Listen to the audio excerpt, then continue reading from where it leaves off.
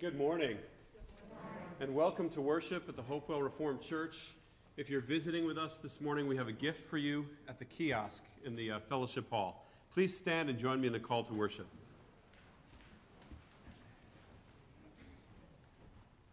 This is the day which the Lord has made. Let us rejoice and be glad. This is the house which the Lord has built. This is the fellowship of believers to which God has called us. This is the renewing of our hearts and minds through worship.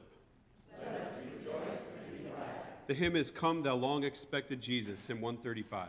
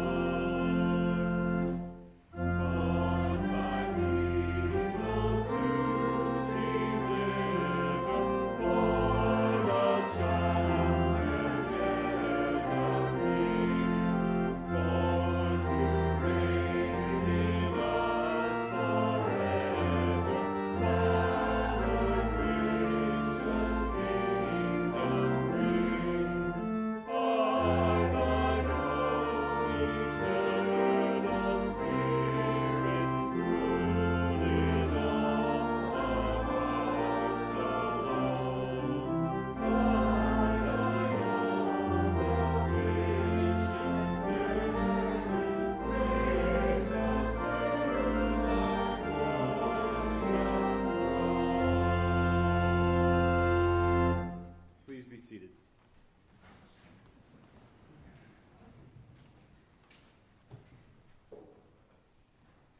The call of God upon our lives can be like a voice in the night. It can be like a quiet song in our hearts. It can be like a thundering sound of whirlwind. Whatever it is, God calls us to seek and serve Him.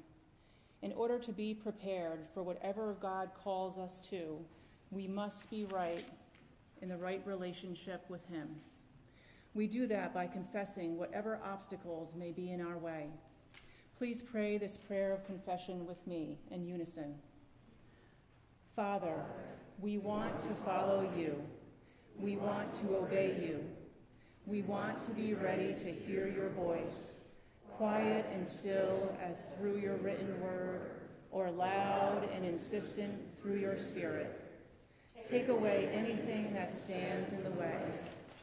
Make us always aware of your speaking. Forgive us when we are reluctant to obey. Shape us and use us. Amen. And now hear these words of assurance God can use his word, a song, a friend, or a sermon to touch our hearts and bring us closer to him.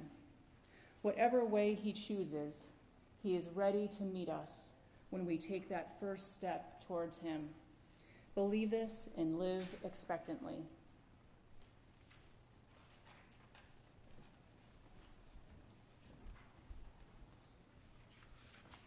And now please stand and greet each other with the passing of the peace of Christ.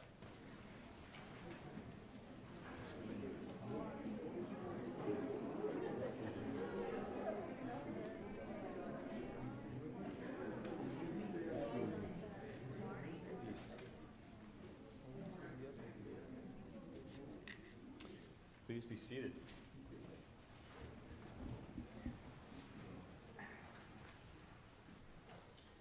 So, we've been walking on the way to Bethlehem, and this is the time for the children's message and the lighting of the Advent wreath. And as we walk to Bethlehem, we remember the prophets. Prophet Isaiah told us that the Messiah would come, that light would shine in the darkness, and the darkness will never overcome it. And who else will show us the way?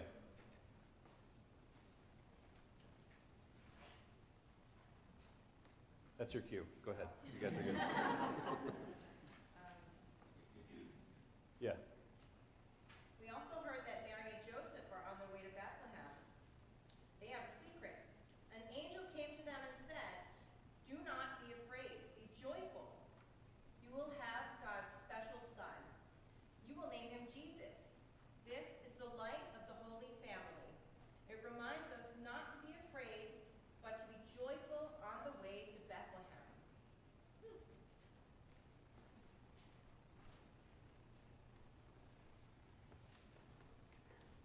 You want to light it? You don't have to be scared. I'm friendly. You want to? You want to? Okay, you can just uh, climb up on this step. There you go. Good.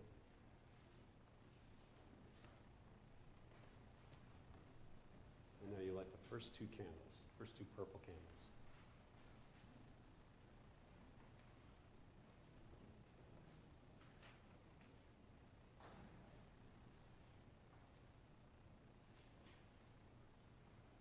Let's enjoy the light. The shepherds are on the way to Bethlehem. They can show us the way. They have good news too. An angel came to them and said, Do not be afraid. Be joyful. Today, a Savior, God's special Son, is born in Bethlehem.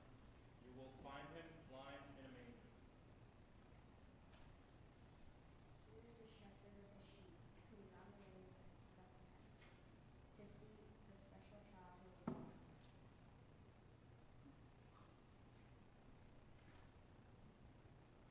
This is the candle of the shepherds. Now you light the pink candle. Candle of the shepherds. Good. Now, a couple of questions. How do you think the shepherds felt when the angel appeared to them? And anyone can answer this. How do you think they felt when the angel appeared to them? Scared. Frightened, scared, yeah. That's what it says in the Bible. It's very, they were frightened, they were afraid. The angels always have to say, do not be afraid. And do you think they found the baby Jesus as they walked to Bethlehem? What do you think?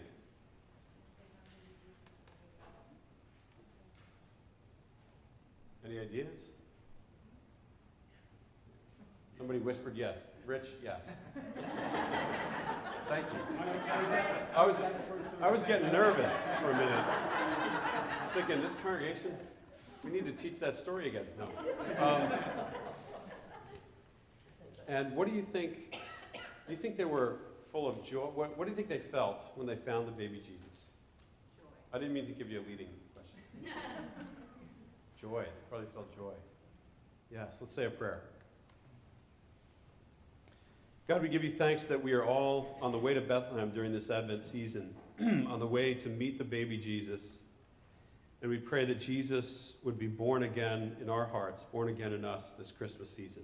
In Jesus' name we pray. Okay, and you can go to your Sunday school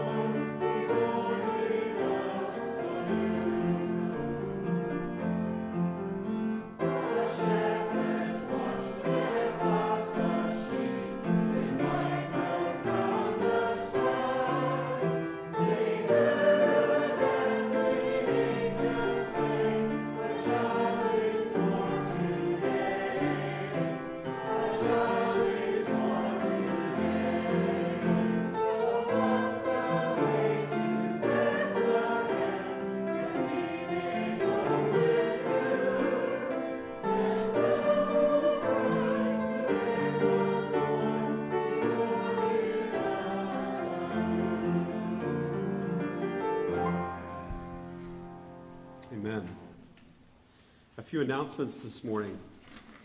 We had a wonderful Living Nativity last night, so if you haven't driven through the Nativity, please come tonight. Um, starts at 4.30 and we'll go to 7 o'clock. So we had just a, a beautiful night. The weather held up last night, and uh, tonight's supposed to be even better weather, so we're looking forward to tonight's Nativity. We'll have Christmas caroling on December 18th, so show up here at the church at 1 p.m. We'll be caroling to people who are homebound and also to nursing homes. Your contribution envelopes are in the fellowship hall, so you can pick those up on your way out.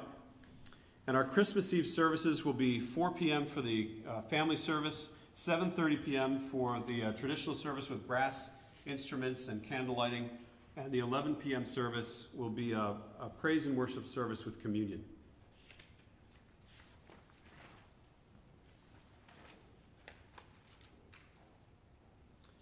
Let us continue our service of worship with the giving and receiving of our tithes and offerings.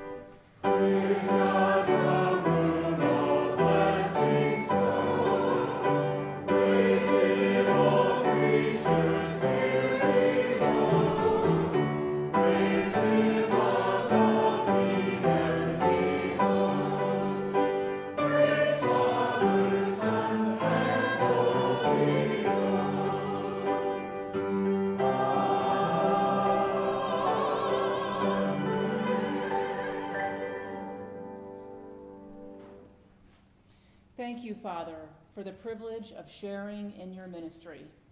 Our individual gifts might not seem like much, but with your blessing, they will be multiplied like loaves and fish. Thank you for what you will do to enhance your kingdom through this place and through these people. Amen.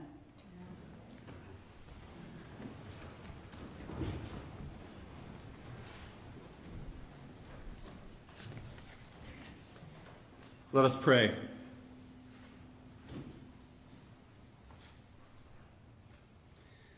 God, you came to us in Christ. You became flesh, incarnate, living with us, feeling our pain. When the angels announced to the shepherds that a Savior was born, they sang, Glory to God in the highest heaven, peace on earth to those whom God favors. And so this morning, with the angels, we sing and we glorify your name. God, we're thankful for all that you have given to us, for your presence in this struggling world. We're thankful for our nation, for our community, and for the witness of your church worshiping around the world. But today we're especially grateful for the gift of your Son, who gave up his heavenly home for a manger on earth and a cross so that we might experience redemption a gift that never spoils or fades. And with the angels, we also desire peace on earth, a peace which is broader and deeper than we can imagine or bring about. we pray for the restoration of this world, for the growth of your kingdom, for reconciliation, for healing, and for renewal.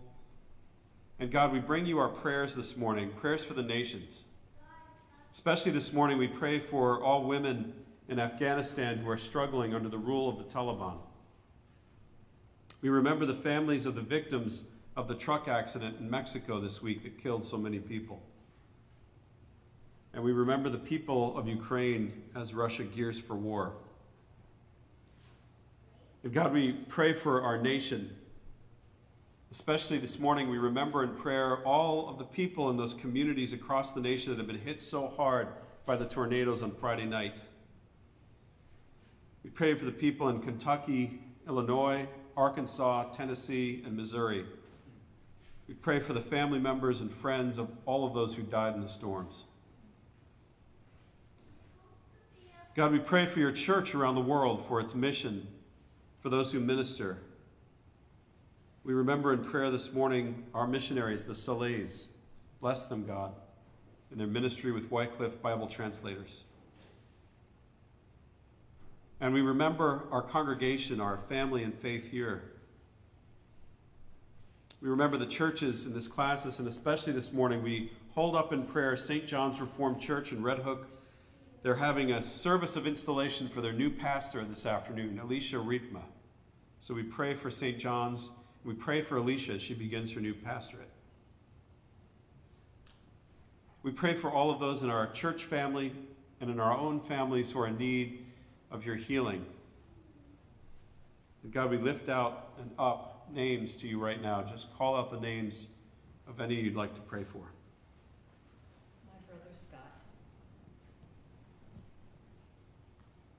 Lori Huber.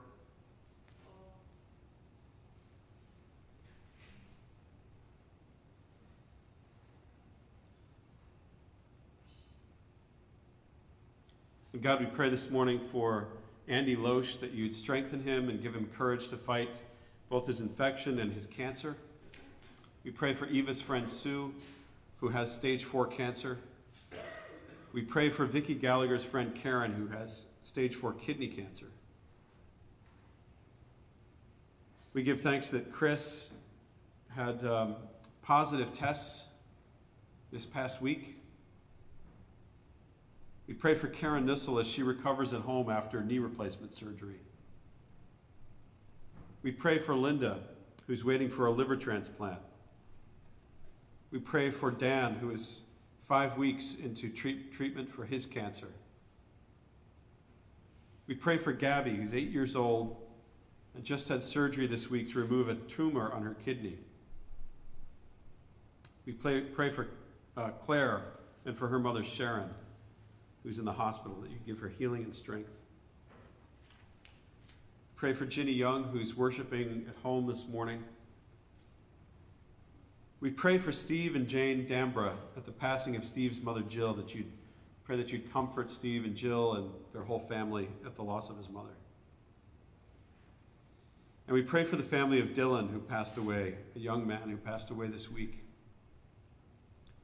Pray for Jan Bushy's niece, Elizabeth, who lost her college age daughter, Cameron, this past week. Cameron was a student at Liberty University. She had a seizure and did not recover. We pray for Cameron's whole family and for Jan. we pray for Frida Sawyer and for her daughter Amanda. Give thanks, God, that she is now home from the hospital and on the road to recovery. And God, we lift up before you all of our joys. Just call out, call out your joys to God.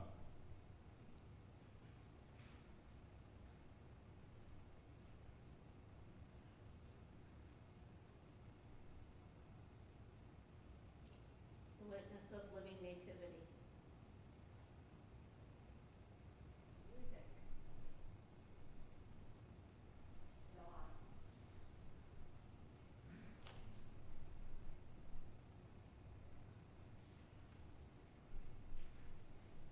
This morning, God, we also lift up to you thanksgiving for the birth of Connor Nieves, Nelson and Sue's new grandson, who was born on Friday. God, make your incarnate presence known in each situation, and may we, as your servants, be vessels of your peace. We pray this in the name of the one who became flesh and dwelt among us, Jesus Christ our Lord, in whose name we are bold to pray together, saying, Our Father, who art in heaven, hallowed be thy name. Thy kingdom come, thy will be done, on earth as it is in heaven. Give us this day our daily bread, and forgive us our debts as we forgive our debtors. And lead us not into temptation, but deliver us from evil. For thine is the kingdom, and the power, and the glory forever. Amen. The hymn is While, the, While by the Sheep, hymn 166.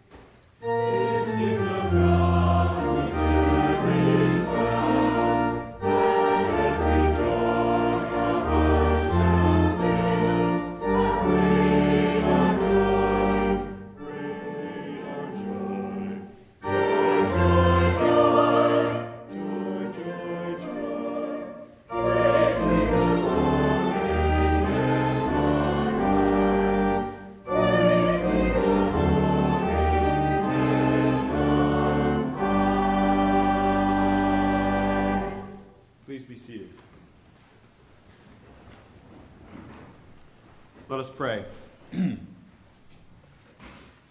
Holy God, as we open your word this morning, show us who you are. Show us your character. You give us pictures of who we should be. You teach us about your plans for your people in days gone by and for us in this present time. So, God, teach us now through your holy word. Amen. So, during this Advent season, we've been preaching through the, uh, the birth stories in Scripture. And we started um, in the first Sunday in Advent with the birth story of Isaac. Then last week, we talked about the birth story of Moses. And this morning, we're going to read through the birth story of Samuel. And this is a fascinating story. There's so many interesting details in this story that teach us about our faith. So listen for God's holy word as we read through this story of the birth of Samuel. Hear the word of God as it is written for us in 1 Samuel chapter 1. Elkanah had two wives. The name of one was Hannah and the name of the other, Peninnah. Peninnah had children, but Hannah had no children. Now Elkanah used to go up year by year from his town to worship and sacrifice to the Lord at Shiloh. And on the day when Elkanah sacrificed, he would give portions to his wife Peninnah and to all of her sons and daughters. But to Hannah, he gave a double portion because he loved her, though the Lord had closed her womb. Hannah's rival, Peninnah, used to provoke her severely, to irritate her, because the Lord had closed Hannah's womb. So it went on year by year. As often as Hannah went up to the house of the Lord, Peninnah used to provoke her. Therefore, Hannah wept and would not eat. Hannah's husband, Elkanah, said to her, Hannah, why do you weep? Why do you not eat? Why is your heart sad? Am I not more valuable to you than ten sons? After they had eaten and drunk at Shiloh, Hannah rose and presented herself before the Lord. Now Eli, the priest, was sitting on the seat beside the doorpost of the temple of the Lord. And Hannah was deeply distressed, and she prayed to the Lord and wept bitterly. And she made this vow. She said, Lord of hosts, if you will only look on the misery of your servant and remember me, do not forget your servant. But if you will give to your servant a male child, then I will set him before you as a Nazarite until the day of his death. And as Hannah continued praying before the Lord, Eli observed her mouth. Hannah was praying silently. Only her lips moved, but her voice was not heard. Therefore, Eli thought she was drunk. So Eli said to her, how long will you make a drunken spectacle, of yourself? Put away your wine. But Hannah answered, No, my Lord. I'm a woman deeply troubled. I've drunk neither wine nor strong drink, but I've been pouring out my soul before the Lord. Do not regard your servant as a worthless woman, for I've been speaking out of my great anxiety and vexation all this time. Then Eli answered, Go in peace. May the God of Israel grant you the petition that you've made to him. And she said, Let your servant find favor in your sight. Then Hannah went to her quarters. She ate and drank with her husband, and her countenance was sad no longer. In due time, Hannah conceived and bore a son. She named him Samuel, for she said, I have asked him of the Lord. And when she had weaned him, she brought him to the house of the Lord at Shiloh. And Hannah said to Eli, Oh, my Lord, I am the woman who was standing here in the presence of the Lord, praying to the Lord. For this child I prayed, and the Lord has granted me the petition that I made to him. Therefore, I have given him over to the Lord. As long as he lives, he is given to the Lord. And she left him there for the Lord. Here ends the reading of God's word for us this morning. May God help us as we seek to understand these words. Hannah wanted more than anything else to have a baby. And when she had the baby, she gave him away, left him at the temple. She gave away what was most precious to her. This is a story about giving away that thing which is the most precious to us. Why does she do it? And how does she do it? And can we give away the thing that is most precious to us? We read on later in the story, Samuel goes on to become one of the most important leaders in Israel's history. He goes on to become probably the most important high priest. Samuel becomes the one who will recruit and anoint the first king of Israel, King Saul. So Samuel is the leader that develops Israel, brings them from being a tribal nation to a kingdom. And that wouldn't have been possible without Hannah giving away to the temple her very most precious thing.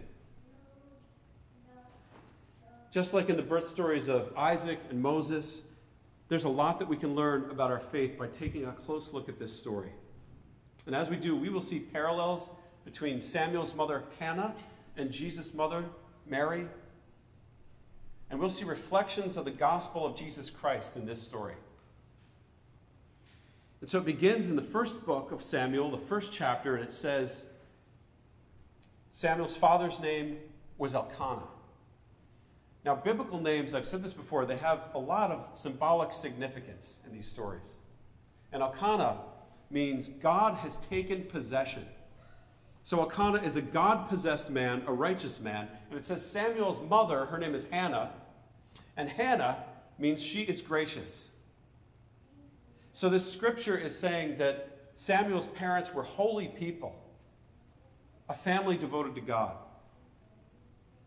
And the story says that Elkanah had two wives. Now, that was not uncommon in ancient Israel.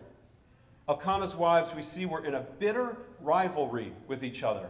Peninnah, it says, had many children, but Hannah, her womb had been closed. She was unable to have children. And to make matters worse, Peninnah was cruel to her. She was taunting her, and she made Hannah feel terrible. In verse 3, it says that Elkanah and Peninnah and Hannah, they used to go up every year to the temple to sacrifice to God. And when they did that, Elkanah would give to his wives a portion so that they could enjoy the sacrifice. They could participate in the sacrifice. And it says he gave Peninnah a huge portion because she had so many children. So he gave her this big portion for the sacrifice. But interestingly, it says he gave Hannah an even larger portion. He gave her a double portion. Now, these portions, they were important in the, in the ritual sacrifice of the temple because they believed at that time that your worth before God was directly related to the amount that you sacrificed. God's favor, they believed, was tied to the quality of your sacrifice. So Peninnah, she was probably insanely jealous that Hannah, she doesn't even have children. Why is she being given a double portion? And so Peninnah taunts Hannah. It says that she provokes her severely, she irritates her, because the Lord has closed her womb. And this went on year after year. As often as Hannah went up to the house of the Lord, Peninnah would provoke her. Therefore, it says, Hannah wept and would not eat. So, this is what's interesting to me. This is, I think, the first lesson for us in this story is that when we are in conflict with another person, in this case, Hannah's in conflict with both Peninnah and God.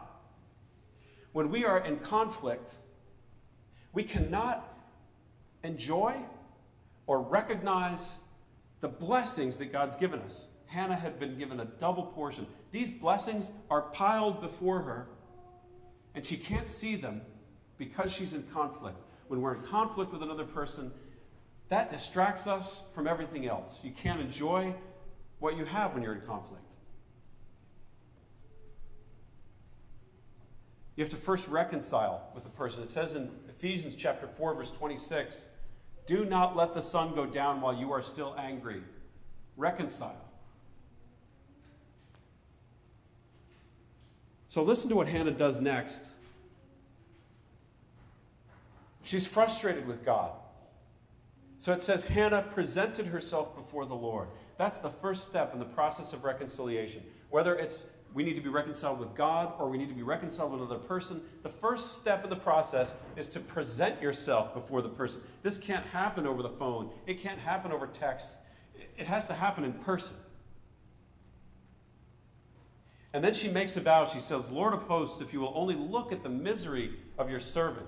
So she gives her pain over to God in prayer. And that's the second step in the process of reconciliation. We have to be willing to show our true vulnerable feelings when we go to be reconciled with someone. When we're angry, when we're in conflict with another person, we have to let that person know how we're feeling. It doesn't help when we bury our hurts or our feelings. I do this too sometimes. It doesn't help. You have to make your feelings known, your hurt feelings. You have to express them in a way that the other person can hear them. So in this case, I imagine she couldn't have that conversation with Peninnah because Peninnah was just being cruel to her, hateful to her. Peninnah didn't, didn't want to reconcile, but she could have that conversation with God. So listen to what she says. She says to God, Lord, I am a woman. I, I am deeply in pain, in deep misery. And as she's pouring herself out to God, Eli the priest notices her. Only he thinks she's drunk. He misunderstands her feelings. And that's the second thing that happens. Anytime we're in conflict, it's usually because there has been a misunderstanding. So that's sometimes why we're afraid to share our true feelings because there is this misunderstanding. We're not sure we're safe in that relationship. But again, you have to present yourself before the person, express your true feelings, correct the misunderstanding. And that's exactly what Hannah does. She talks to Eli and she says, No, that's a misunderstanding. I'm not drunk. I'm a woman full of sorrow. I've been pouring out my soul before the Lord. I've been speaking out of my great anxiety. And so she lets her anxiety show. She corrects the misunderstanding with Eli. That's what it takes for us to reconcile relationship to communicate those true vulnerable feelings. And in this case, the communication was successful because we see Eli says to her, Go in peace. And may God give you what you've asked for in prayer. And then it says, Hannah's countenance was no longer sad. In other words, her sadness went away. How? By going through that process of reconciliation by going through the process of presenting her face to face with her adversary, then showing her true feelings vulnerably, then correcting the misunderstandings. And once that communication had successfully taken place, then she, it says, is when she felt relief. She felt happy. That's what it takes for us to get to the place of happiness in a tense relationship. But I know I make this mistake all the time. I think we all make this mistake of holding on to our, our anger, our hurt feelings. We don't want to risk more conflict. And so we just keep it to ourselves. Maybe we put on a smile, we paper over our real feelings. But that only leads to further division in the heart. It leads to resentment. And it leads to a distance in that strained relationship. And I think we make sometimes the same mistake in our relationship with God. We think that coming to worship God wants to see our, our joy. God wants to see um, our happiness, our praise as we come to God and worship. But we're not always full of joy. If we're honest, we also struggle and suffer. And so, what this story is teaching us is we can be honest with God. We can bring our anguish to God. Our confession is as important as our praise. We can confess to God when we are depressed or unhappy even enraged, hopeless. God wants the whole of you. So Hannah's expressing her anguish to God, and the story goes on. Hannah and Elkanah, as soon as they leave the temple, they go back home and they conceive, and Hannah gives birth to a son. And in verse 20, it says, She names her son Samuel, for she says, I have asked him for the Lord. I have asked the Lord for him. The name Samuel, it literally means named for God. And the story ends with Hannah fulfilling her vow. As soon as Samuel is weaned, she fulfills her vow. She brings Samuel to the temple and she gives her baby over to the temple, the thing that she most wanted, the thing that is most precious to her. And so I was asking, as I was studying this, why does she do that? What's going on here? Christmas is the season of gift giving, but can you imagine giving that um, powerfully? I think Hannah was trying to be obedient to the laws of worship. She was literally giving from the first fruits of her womb. Listen to this. This is one of the worship laws from Exodus chapter 34, verse 19. It says, The first offspring of every womb belongs to me, says God, including the firstborn males of your livestock. That's part of what they believed about worship at the time. Exodus 23:19 says, "Bring the best of your first fruits of the soil of your of your gardens to the house of the Lord your God. Proverbs chapter 3, verses 9 and 10 says, Honor the Lord with your wealth, with the first fruits of all of your crops. Then your barns will be filled to overflowing, and your vats will burst forth with new wine. So you see, I think Hannah was following the laws of worship. She was literally giving of the first fruits of her womb over to God. What is a first fruit? It is the most precious thing that you have in your life. I had a pretty measly tomato garden this past year, but when I got that first tomato, that was the first fruit. That was the most precious tomato of that crop, which was a pretty poor crop. Your first fruit is the most precious thing to you. It's the best thing that we have.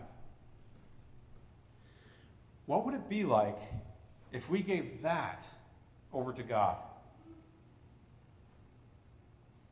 What, if, what would it be like if we gave of our first fruits to God? And this is where the story of Samuel's birth connects to the story of Jesus' birth. Because Jesus is also referred to in Scripture, in the New Testament, as the first fruit of God. It says in 1 Corinthians 15 that Christ has been raised from the dead. He is the first fruits of those who've fallen asleep. Only here's the difference. In the story of Samuel's birth, we see an example of a faithful person, Hannah, giving over the first fruit of hers to God. But in the Christmas story, we see a faithful God giving his first fruits to us. In the story of Samuel, Hannah is sacrificing to God. But in the story of Christmas, God is sacrificing for us. Jesus is sacrificed to save us from our corruption. He sacrificed to save us from our, our darkness and to bring us into light.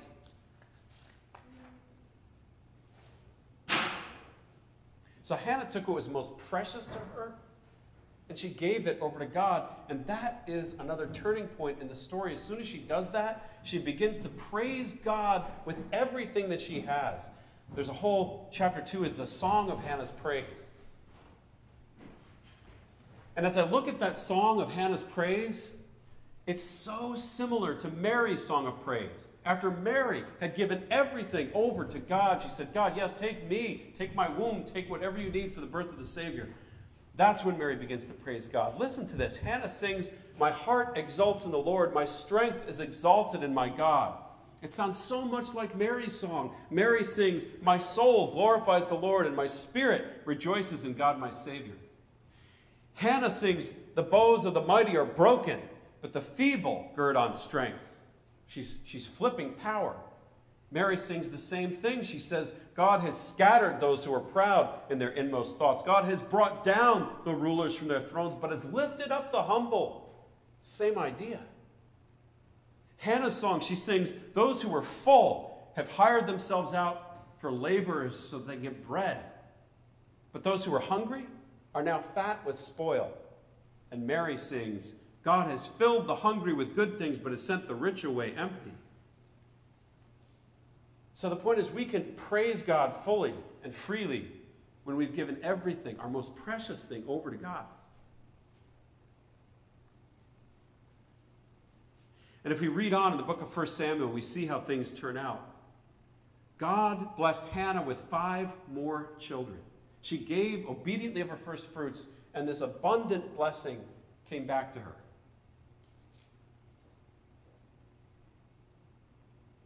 So, how do we find that strength to do what Hannah did, to give the most precious thing that we have over to God?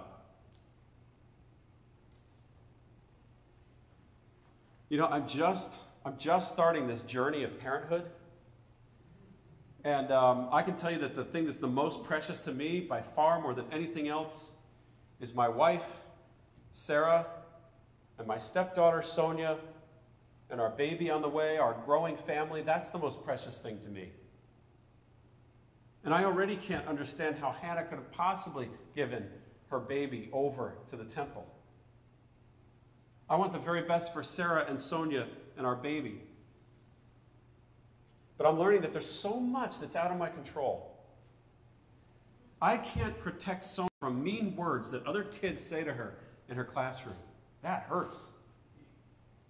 I also can't protect Sonia from the things that she reads in social media and sees on the internet. That's scary. There's so much that's influencing our children that is beyond our control. So I think for me, I have to do what Hannah did. I have to give my family over to God.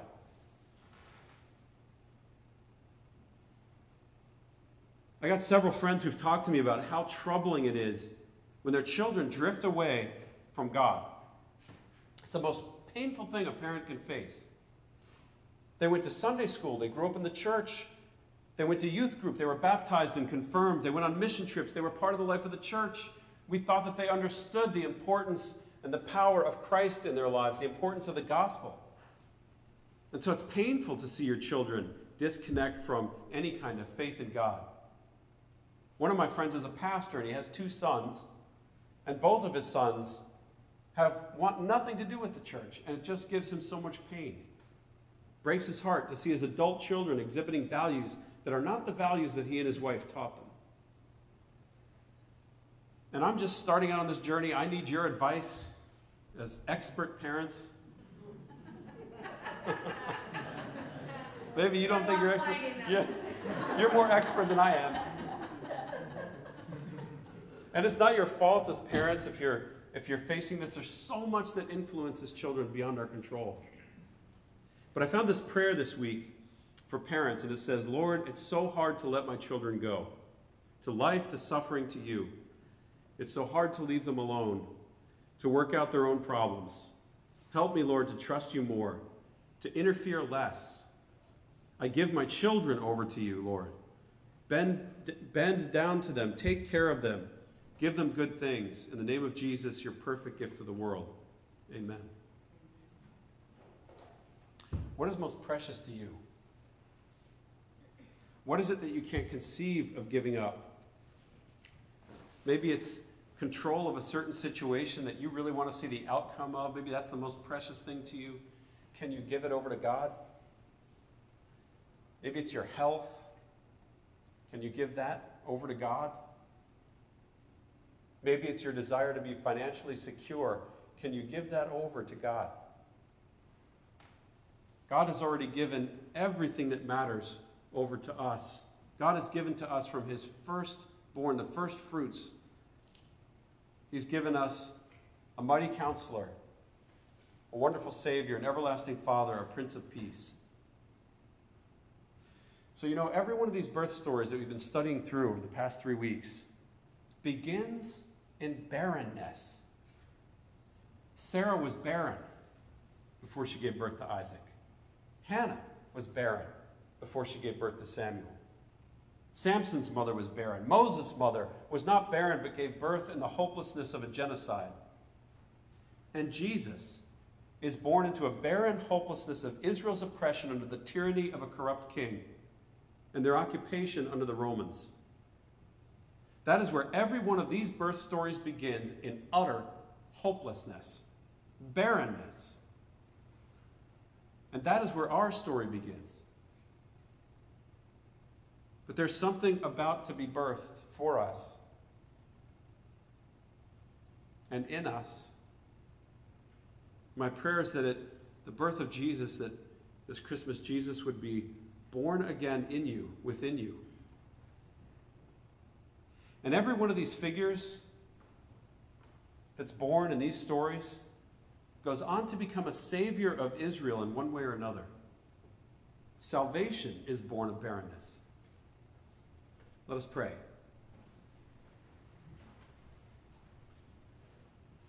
God, we take a moment right now to think about what is more precious to us than anything else. Is it our families? Is it our children? Is it our grandchildren? Is it our health? Whatever it is, God, in our minds right now and with our hearts, we give you that which is most precious to us. We give it over to you right now. We release that into your care. God, take what we are giving to you right now and raise it up like you raised Samuel up for a greater purpose. We give you, God, from our first fruits, just as you've given us from your first fruits. And help us to receive what you've given us. In Jesus' name we pray. Amen. The hymn is Hark the Glad Sound.